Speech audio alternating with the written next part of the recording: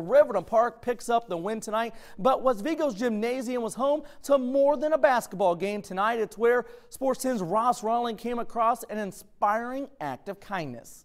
Nothing can replace this place in my heart. Once a Lady Viking, always a Lady Viking. It's something West Vigo head coach Ryan Easton makes clear to his basketball team. I preach program, grades K through 12 all the time. But I also want girls to know that just because when they graduate, they're, they're not done. They're still a part of this program. They're still a part of this team, in essence. Sarah is a 2001 graduate of West Vigo. That spirited philosophy took center stage Tuesday night. Riverton Parke assistant Sarah Norton graduated from West Vigo in 2001, where she played on the program's last sectional championship team. Less than 12 years later, Norton was presented with some life changing news. My first words to them was, "What do you? I don't know what you're talking about. Breast cancer. I'm only 29 years old. I don't know why we're having this discussion." And it all became very real, very, very quick. Coach was diagnosed in September and started therapy within the week.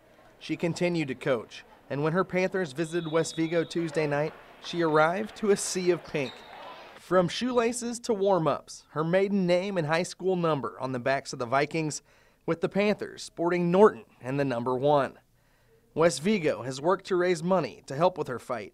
A whole night of kindness, including a presentation at half court before tip off. A presentation for one strong Viking that brought the audience to tears. Once a, once a Lady Viking, always a Lady Viking. This isn't a night of sorrow, this is a night of celebration of, uh, of life and the game of life, and that she's kicked its butt so far. And uh, we know that, and let her know that we're here for her the, the rest of the way. It's been life changing, but th this is a crazy thing to say, but it's been life changing in a positive way. I can I can fight the battle. I can do the treatments. I can do those kinds of things.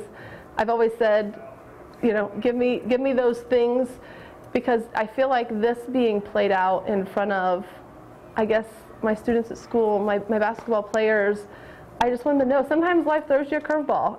With such a bright smile during such a tough time, it's crystal clear that Norton took her curveball and hit it out of the park. In West Terre Haute with photojournalist Cody Adams, Ross Rawling, Sports 10.